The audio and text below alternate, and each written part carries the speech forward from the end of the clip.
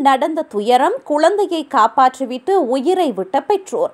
பாரிஸின் தென்கிழக்கு பிராந்தியமான சென்யமான் நகரில் ஏற்பட்ட தீ விபத்து பெரும் சோகத்தை ஏற்படுத்தியுள்ளது. மூன்று மாத பிள்ளை ஒன்றை காப்பாற்றிவிட்டு குழந்தையின் பெற்றோர்கள் தீயில் கருகி உயிரிழந்தனர். திங்கட்கிழமை நண்பகல் இந்த தீ விபத்து இடம்பெற்றுள்ளது.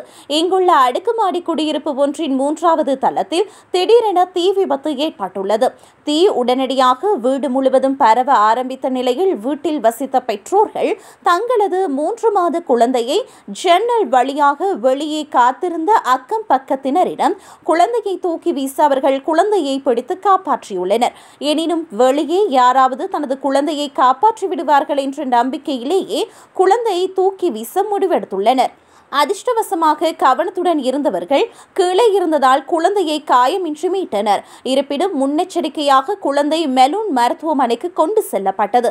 பின்னர் வீட்டிலிருந்து பெற்றோர் இருவரும் வெளியேற முற்பட்ட போது வீடு முழுவதுமாக தீப்பிடித்து எரிந்துள்ளது. இதில் பெற்றோர்கள் இருவரும் தீயில் கருகி உயிரிழந்துள்ளனர். இறந்த தம்பதிகளுக்கு முப்பது வயது இருக்கும் என்று மதிப்பிடப்பட்டுள்ளதாக போலீசார் கூறியுள்ளனர். அறுபது தீயணைப்பு படையினர் களத்தில் போராடி தீயை அணைத்தனர். பிற்பகல் மூன்று மணியளவில் அவர்கள் தீயை கட்டுப்படுத்த முடிந்தது. இந்த நிலையில் இந்த விபத்திற்கான காரணத்தை கண்டறிவதற்கு போலீசார் சம்பவம் தொடர்பில் விசாரணைகளை மேற்கொண்டு வருகின்றனர்.